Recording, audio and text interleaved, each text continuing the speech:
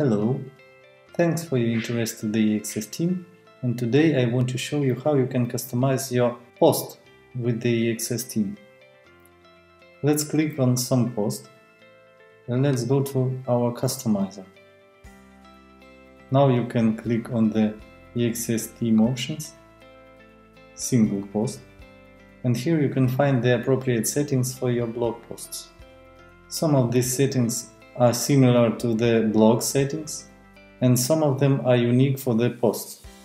At the top of the settings you can see post layout. We will take a look at these settings at the end of this video. Below post layout settings you can find blog post sidebar position. Here you can set your main sidebar position to the right, left or no sidebar which is default. Below sidebar settings you can see show first post or embed instead of featured image, select drop down.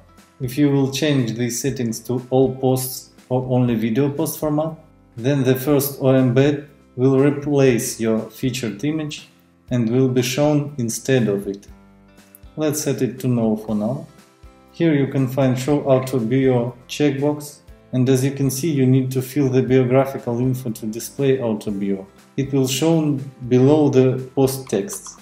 If you will uncheck this, you can see that author bio is gone. Below the author bio you can see post navigation settings. Here you can choose from only title, background featured image, thumbnail featured image or totally disabled. Let's switch it for thumbnail featured image.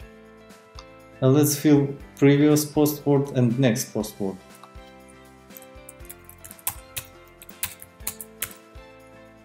Let's click on the pref, scroll down to the our post navigation and here you can see that our pref and next words in the place.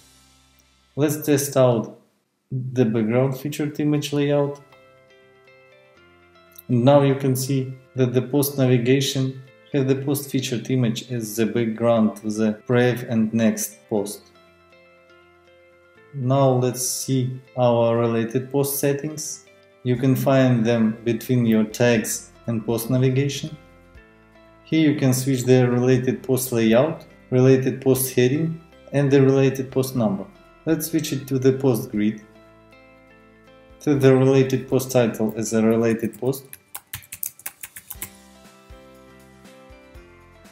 Let's set the post number to 4.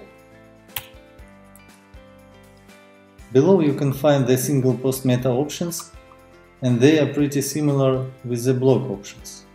Here you can hide your tags by clicking on show tags and if we will scroll up to the top of our post here we can hide the icons for the post meta, hide after, hide the date hide our categories, and choose layout for our comments number. Now let's put our post meta back. Let's show our icons. Let's fill our text before author and text before date. And let's briefly look on the post layouts achieved with the EXS theme you can see that you have seven layouts at the moment, but in the future this number will be grow. Let's look at the, each of the layouts. Here you can see a wide featured image. You can see that featured image is wider than the post content now. Let's take a look at the post meta above featured image. Now you can see that post meta is at the top of the featured image. Let's see on the post meta over the featured image. Now you can see that the post meta is overlapping the featured image. Now let's see the side post meta. Here you can see that the post content is to the right of the post meta. Let's take a look at the bottom post meta. Now you can see that the all post meta is below all the post content and now let's take a look at the title section featured image. And if we will scroll to the top of our post, you can see that the featured image is set as a background to the title section. Now let's make look this layout a little better. Let's go back from the single post section of the EXS customizer and add some extra space to the main section of the EXS theme. To do that we need to go to the main section and set a top padding let's say to the 5 ems. Now you can see that the top padding is added to the main section.